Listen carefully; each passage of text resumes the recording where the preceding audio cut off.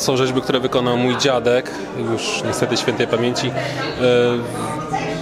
powiem tak, jak byłem małym chłopcem, pamiętam jakie te rzeźby robił, tworzył. One przez wiele lat były na strychu u nas w domu. Może jakby za młodzieńczych lat były wystawione trochę, potem częściowo było na strychu i tak chcieliśmy w pewien sposób uczcić to dzieło, które dziadek wykonał i dlatego znalazło się ono tutaj właśnie na dwudziestolecie. Dziadek jak się nazywał? Józef Olszański. Bo dziadek pochodził skąd? Stąd, z Drelowa. Dziadek mieszkał całe życie w Lublinie. Znaczy nie całe życie. Powiedzmy pół życia mieszkał w Lublinie. Pracował w Lublinie, był zawsze wierny ziemi drelowskiej. To on między innymi był, e, zbierał materiał do monografii e, ziemi drelów. Był bardzo aktywny, jeśli chodzi o bycie społecznikiem tutaj. No i między innymi jego hobbym, hobby takie małe, to było właśnie tworzenie e, w drewnie.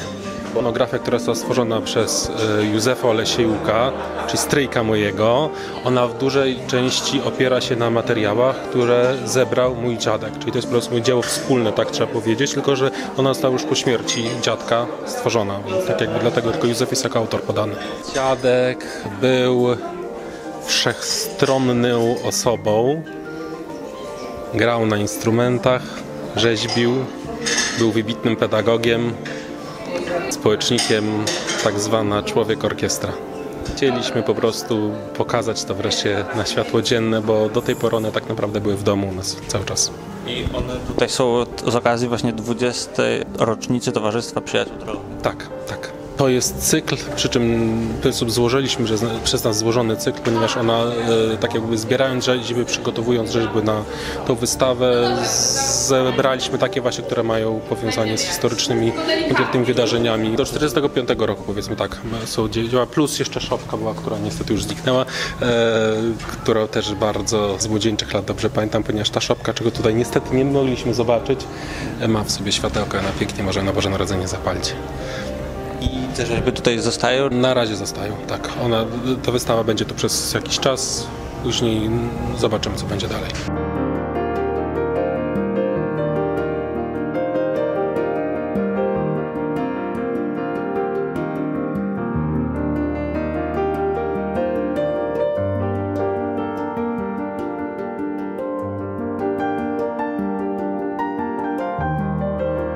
Witam Was bardzo serdecznie. Pozwólcie, że również w imieniu wójta, który dojedzie do nas dosłownie za chwilę.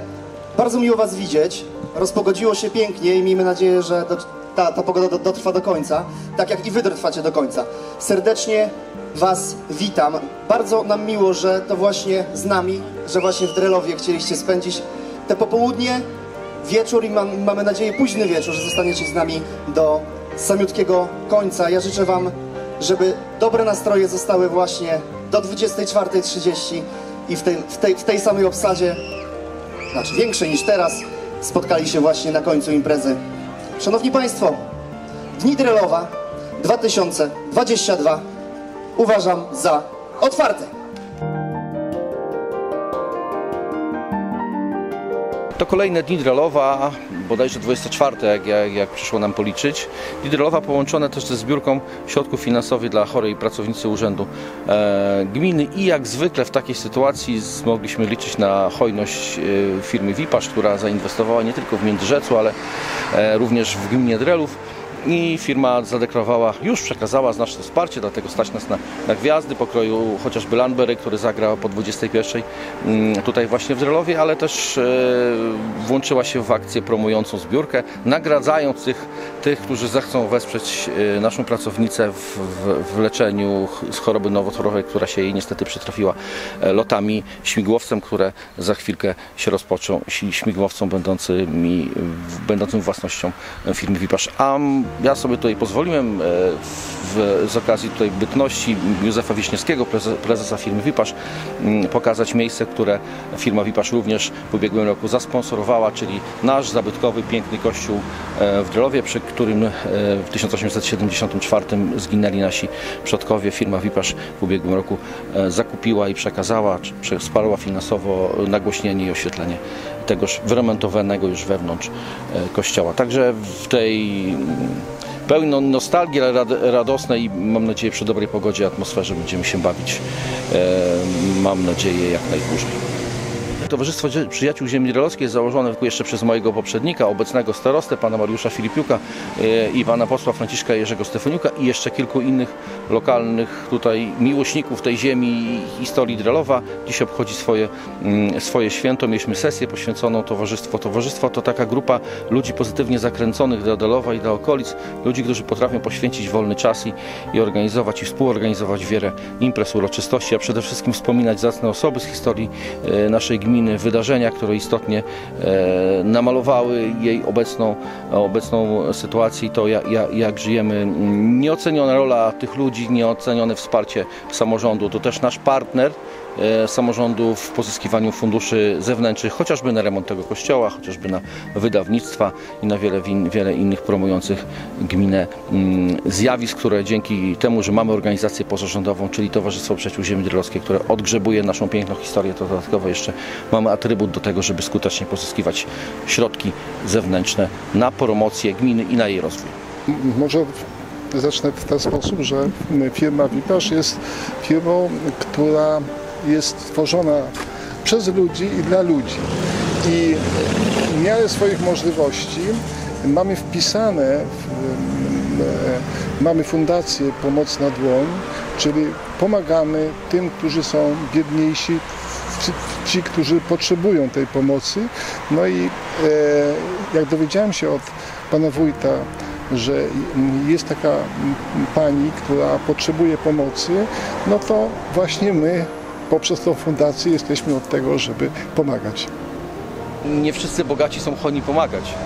I nie wszyscy wielcy przedsiębiorcy chętnie wyciągają e, swoje pieniążki, wykładają środki. Wipasz e, to swego rodzaju wyjątek, swego rodzaju fenomen, choć licznie sponsorzy oczywiście wspierają i tą zbiórkę. Natomiast firma Wipasz inwestując u nas pokazała, że można budować ekologicznie, można budować e, zgodnie z nowoczesnymi wymogami, że mm, produkcja drobiu, akurat którą firma na naszym terenie prowadzi, nie działa negatywnie na środowisko, a poza tym tu panie prezesie trzeba przyznać wyjątkowo godna pochwały umiejętność włączenia się w to wszystko, co dzieje się w gminie. Właściwie nic istotnego, e, co się u nas dzieje, nie pozostaje bez wsparcia, bez wsparcia finansowego, organizacyjnego, materialnego e, firmy Wipasz. E, Bardzo nam to pomaga, to nie tylko chodzi o to o środki finansowe, choć też oczywiście, ale to nas jakby samorząd legitymizuje, to znaczy, że nasi biznesmeni, nasi przedsiębiorcy, nasi inwestorzy chcą z samorządem współpracować, a to daje nam przekonanie, że jesteśmy dobrze odbierani,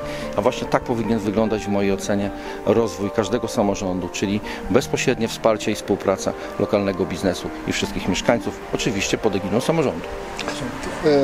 To teraz, panie wójcie, ja muszę swoje powiedzieć. E, Otóż e, my inwestujemy tam, gdzie jest po prostu klimat, gdzie są prawdziwi gospodarze. I tak było w przypadku Międzyrzeca Podlaskiego, gdzie w ciągu 10 minut e, wiedzieliśmy, że to jest właśnie nasze miejsce, gdzie możemy e, inwestować i e, to jest odpowiedni klimat, odpowiednie nastawienie.